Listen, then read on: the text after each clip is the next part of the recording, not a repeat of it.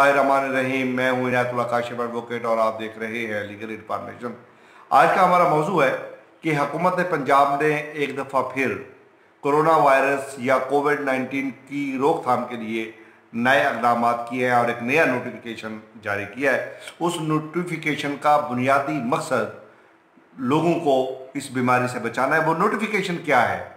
इससे पहले कम अपने मौजू की जाने बढ़े आपसे सदा है कि आप हमारे चैनल को सब्सक्राइब कर लीजिए और बेल आइकॉन को भी प्रेस कर लीजिए ताकि आने वाली हर इंफॉर्मेशन आप तक पहुँच सके। शेयर करना मत भूलिएगा। बढ़ते हैं आज के मौजू की जानब। आज का मौजू है, हकूमत पंजाब ने एक नया नोटिफिकेशन जारी किया है, जिसके तहत हकूमत ने डबल सवारी पर पाबंदी लगा दी है कि अब पहले ये इजाज़त थी कि घर के अफराद जो है वो इकट्ठे सफ़र कर सकते थे। दो अफराद को इजाज़त थी, वो बाहर जा सकते थे ग्रॉसरी वगैरह और दीगर चीज़ें खरीद कर सकते थे। अब एक शख्स जाएगा और वही खरीद करके आएगा।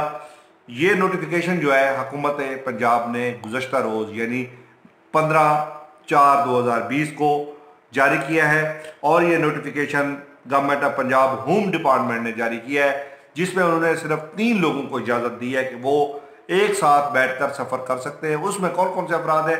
नंबर एक एल्डरली पर्सन यानी बुज़ुर्ग अशखास वो सफ़र कर सकते हैं। ख़ातून के साथ सफ़र किया जा सकता है और इसी तरह जो हमारी सरकारी एजेंसीज़ हैं, उनके अफराद भी एक साथ सफ़र कर सकते हैं। जिनकी ड्यूटी हो लॉ इन्फोर्समेंट एजेंसीज के लोग भी मोटरसाइकिल पर डबल सवारी कर सकते हैं अदरवाइज़ किसी शख्स को इजाज़त नहीं होगी। तो ये लेटेस्ट अपडेट है जो हमें हुकूमत पंजाब की तरफ़ से नए नोटिफिकेशन के ज़रिए मालूम हुई है और वो हमने आप तक पहुँचा दी है।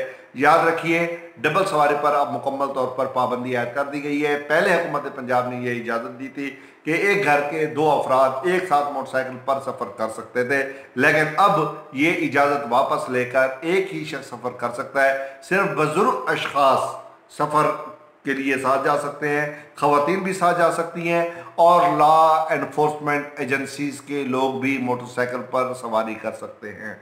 उम्मीद है आज की इन्फॉर्मेशन आपको पसंद आई होगी। अगर अभी तक आपने हमारी वीडियो को लाइक नहीं किया तो लाइक कर लीजिए बेल आइकॉन को भी प्रेस कर लीजिए ताकि आने वाली हर लेटेस्ट इन्फॉर्मेशन आप तक पहुँच सके।